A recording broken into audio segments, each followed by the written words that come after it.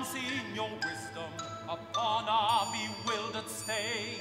Holy Kamadamana,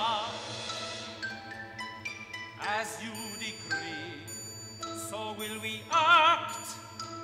To whom now belongs this shapely, fine-limbed woman, and who is truly her husband?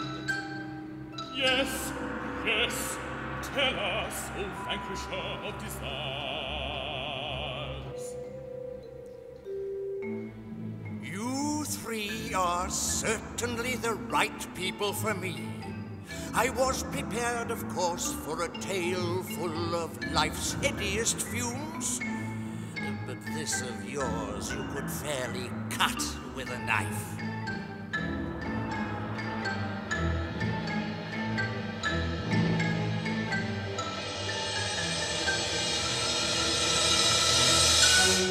Judgment, The judgment, the judgment.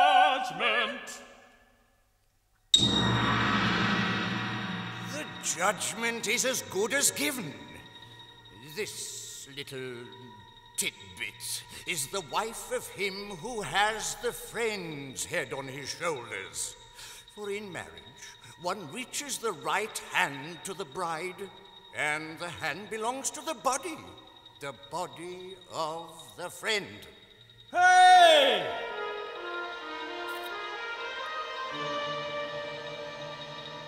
Wait a moment.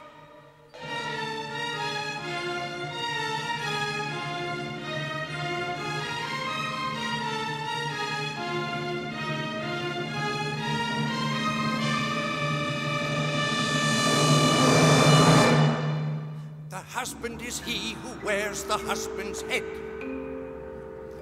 Here lies no doubt at all, must it be said?